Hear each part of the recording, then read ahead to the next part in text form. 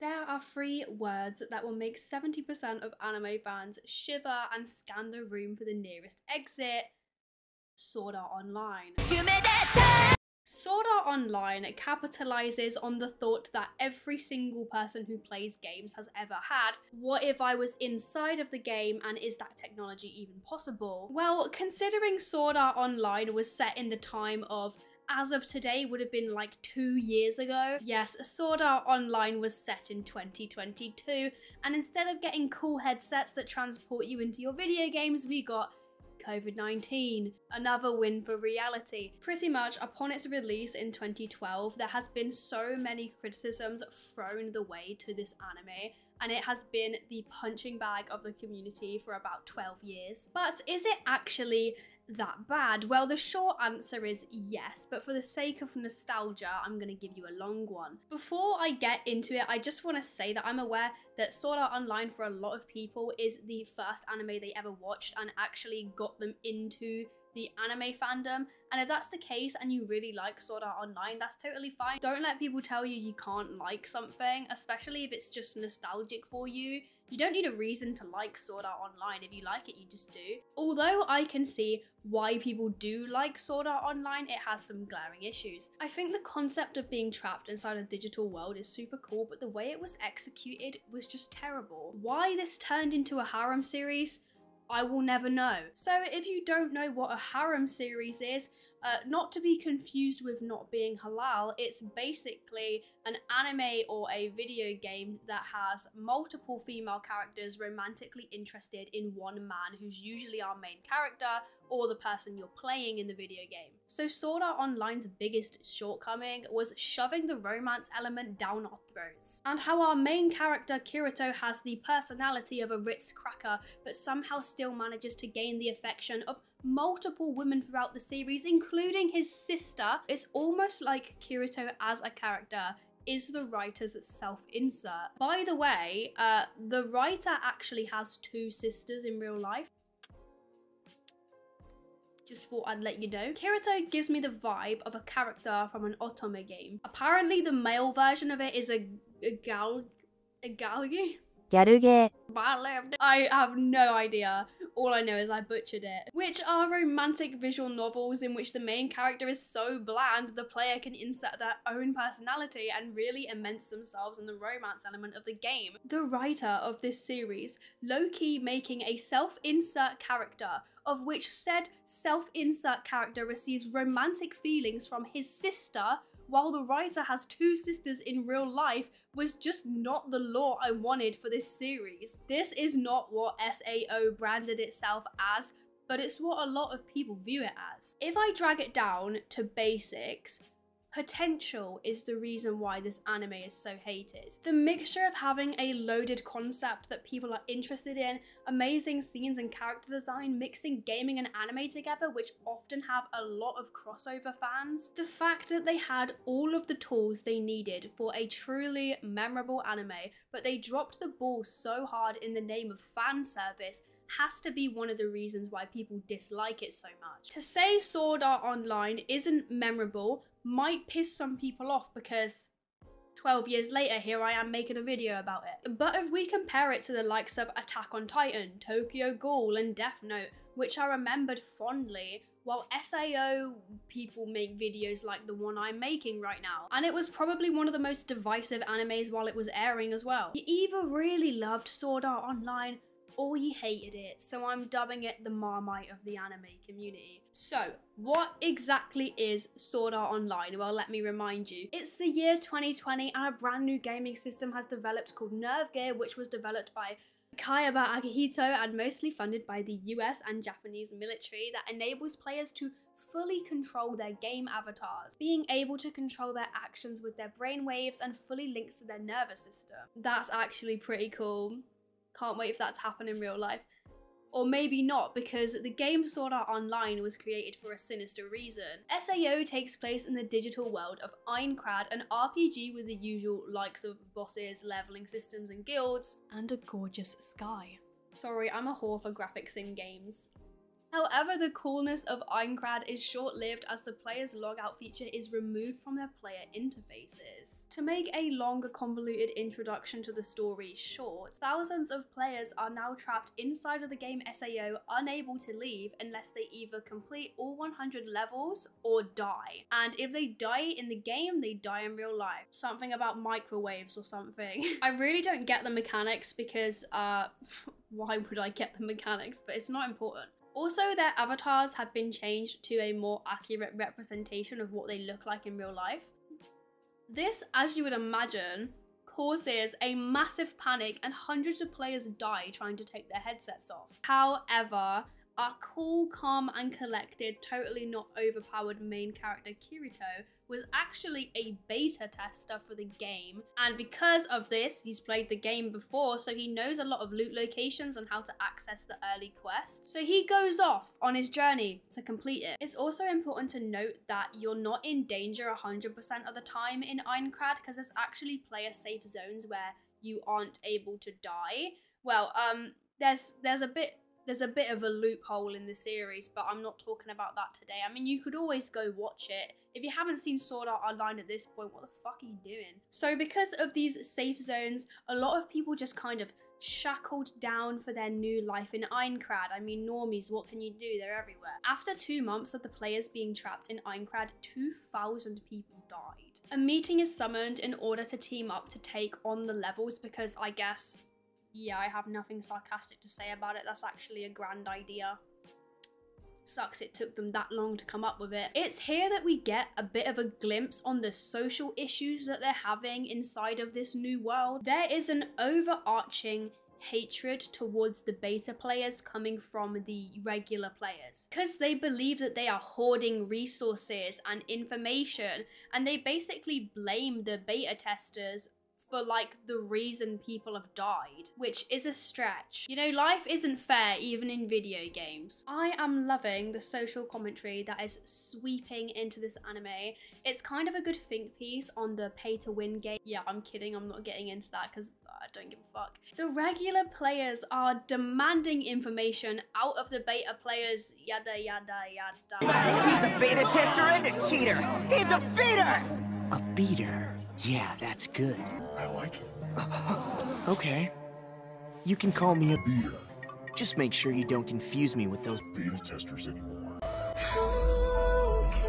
Everything about this character just makes my ass leak. Kirito is so cringe in this scene, I'm sorry. Beater, yeah. Meat beater. English dub L, maybe? Why do they always pick these harsh, ear bleeding American accents for these roles. It's so strong, nails on a chalkboard. Also, not to be that kind of person, but the female characters in this series are just pure wank. Asuna was a beacon of hope only to be shot down by Kirito's mediocrity. She was strong and opinionated and kind of had her own character building, but yeah, what can you do? She just becomes another like subservient love interest in Kirito's journey. And that brings me to the biggest issue I personally had with getting into the series. I just could not get attached to any character in this series because to put it bluntly, all of the characters are there for Kirito and have absolutely no substance outside of it. The characters either love him and admire him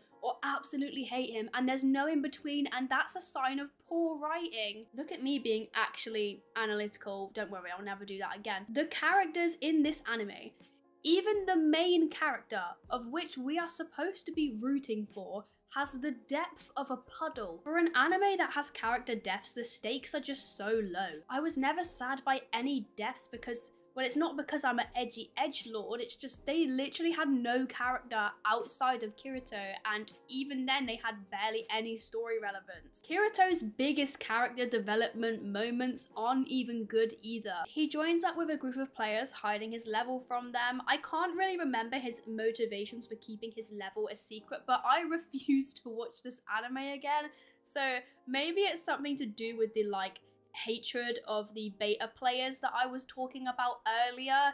Uh, but that's just a theory. But anyway, the members of this guild end up dying, and Kirito blames himself for this. Why? Because he hid his real level and knowledge from them. He was around double their level at the time, maybe like I think it was 40 at the time, and the guild had walked into a trap in one of the levels. They became surrounded by mobs, and since Kirito was a higher level, he was able to kill mobs in less hits, hence why he survived. After he lost his friends, he pretty much refused to join parties or guilds. He was a lone wolf, single player, cool guy. That is until Asuna convinced him to party up with her. And that right there is the only deep thing about Kirito and Asuna's relationship, and I'm being dead serious. Like, actually think about the series. That is the extent of depth in character, that Atsuna is the only party Kirito joined willingly after he got traumatized from making connections with other characters. I'm not joking, they have absolutely no chemistry. In order to have romantic chemistry between two characters in Sword Art Online, the two characters would have to have some kind of personality or relevance outside of Sword Art Online. Both Kirito and Asuna don't have that. In the manga, Kirito was this socially awkward guy who you watched slowly burst out of his shell and become like a better person than he was in the beginning. Kirito starts out one way and stays that way until the end of the series. Sure, Sword Art Online has an amazing concept, but that's about all I can give it credit for that and the beautiful scenery throughout the anime. The only thing, and I mean this so literally, the only thing that was keeping me watching this anime was Aincrad itself. I wanted to know more about Aincrad. I didn't give a fuck about the other characters. Who's behind it? Why are they behind it? What's gonna happen when someone reaches the 100th level? Like, you know, Heathcliff, aka the person who made the game, is the only interesting character in this whole anime, and he's introduced so late in the story. He has more depth in his character than our male and female lead times 12, and he barely had any screen time. I couldn't have given a rat's ass about what happened to Kirito and Asuna, or any character in this series of which I can't even remember the name of because they literally do nothing other than push Kirito to the end of the story. I know I'm ranting a lot about this specific point of characters, but it's just so frustrating because in my opinion, if the characters were even a little bit better, it would have been such a good series. Characters are the heart of what make a story good. You have to actually care about the characters, especially when it comes to a story like Sword Art Online, where I'm supposed to be scared that our favorite character is gonna die. How am I supposed to bond with this character? And it's not that Kirito is bad as a person. He doesn't have the character depth to even be considered a bad person, and that's the issue. Characters like Light from Death Note, he's an obnoxious piece of shit, but he has a personality outside of his main storyline that makes him actually a likable character despite his shitty ethics. Kirito is like toast without butter. He has a story, a place to end up at the end, but everything in between just has absolutely no relevance or any change on his character whatsoever. As I said, Kirito starts one way and he ends the same way. He just meets these random characters that have barely any story relevance. They usually have like one piece of story relevance.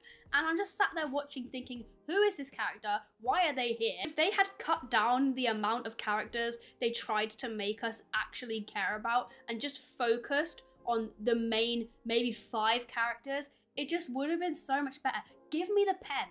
Give me the fucking pen at this point. Half of the time I was just watching and thinking, why is this relevant? Filler episodes are totally fine and oftentimes enjoyable if you actually have interesting characters who have something to offer other than fan service. The arc where Asuna and Kirito were in this log cabin were a snooze fest because they have no chemistry. Sure, if you're a 14 year old, that might be interesting, wondering if they're gonna smash or what, which, yes, we do get some fan service of a canonically 15 year old character, but I digress. For an anime with so much filler, it's actually impressive that the characters still lack so much depth because that's what filler episodes are for. And it might be me. Feel free to call out. Do you think Kirito is an interesting character? Let me know. I, I'm so excited to see someone debate this in the comment section. Pacing is also an issue. And for the slow, stupid ass people watching like me Me, I'm watching and I'm like, what the fuck is going on? They skip through years in the Aincrad arc with barely any explanation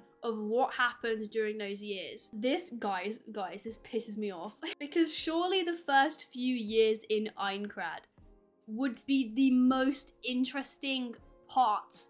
No, watching how people would develop through the world and adapt to their new life. Isn't that a perfect way to develop the characters we're watching? Oh yeah, they're allergic to character development. I forgot, sorry. I promise that's the last time I talk about it. When I said the characters are probably the biggest reason people don't like Sword Art Online, I kind of lied to you. One of the biggest reasons people will usually give you for not liking Sword Art Online is because Kirito is just overpowered. From the very beginning, he is already overpowered because he was a beta player. I feel like the story would have been more compelling from the point of view of a person who was not a beta player. But the thing is, everyone in this anime is just trying to tell us how special Kirito is. Kirito is so overpowered that in one scene, multiple people are attacking him and he is taking barely any damage. How in the fuck is this supposed to be fun to watch? When the stakes are this low. And that's just it if you believe that there is no possibility that your main character could fail, why are you watching? You know what's going to happen in the end anyway. And there's going to be no fun getting there. There's no strife in Kirito's life. There's no doubt throughout the series that Kirito will win and beat the game, let alone not die. Thing is, that can be said for a lot of anime, but I feel like other animes with better characters and character development can really get away with it because you actually feel like you went through it with the character.